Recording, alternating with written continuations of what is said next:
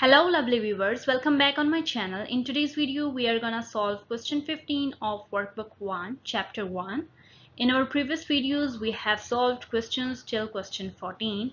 If you like the content please do subscribe to my channel and share with your friends. The question asks the numbers 720 and 1575 written as the product of their prime factors are this and this. Find the largest prime factor of both 720 and 1575 and find the smallest whole number that is divisible by 70 uh, both 720 and 1575 so look at the numbers. The numbers are 720 and 1575 and the question has already provided you by the prime factors of both the numbers.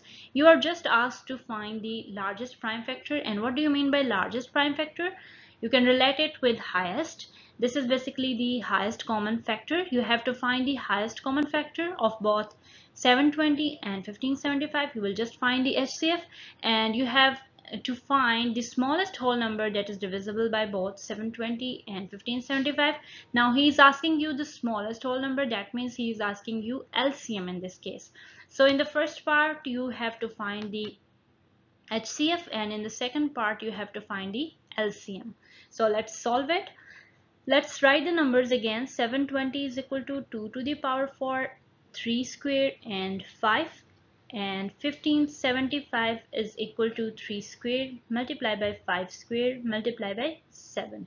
Now look at the commons in both of these numbers, the common factors because in HCF you just find the product of the common factors, right?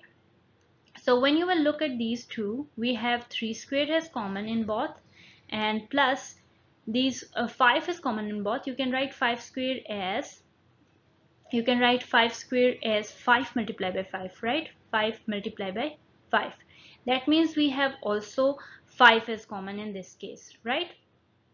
So let's highlight 5 also. So other than these these two numbers we don't have any common. So we will just multiply these two numbers in the HCF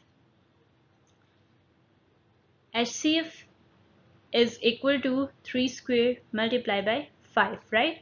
Now 3 square is equal to 9 because 3 3 is 9 and multiply by 5 and 9 multiplied by 5 gives you 45 so that means for the first case the largest prime factor of both 720 and 1575 is 45 right now let's find the LCM and the LCM you just have to find the common factors multiply by non-common factors, right?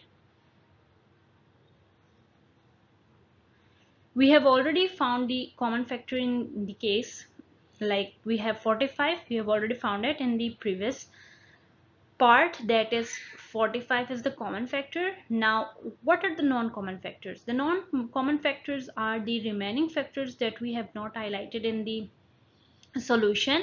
That means our non-common factors in this case are we have 2 to the power 4 1 5 and 1 7 all the remaining factors that we have not highlighted in the previous part are our non-common factors. So we just have to multiply it with the common factors right?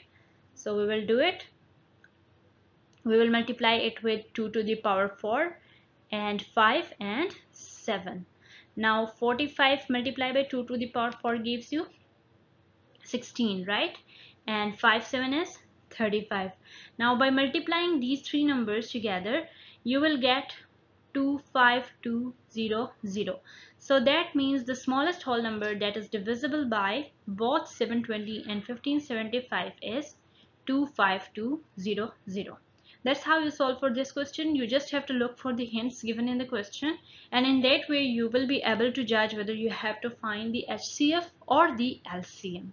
Thank you so much for watching.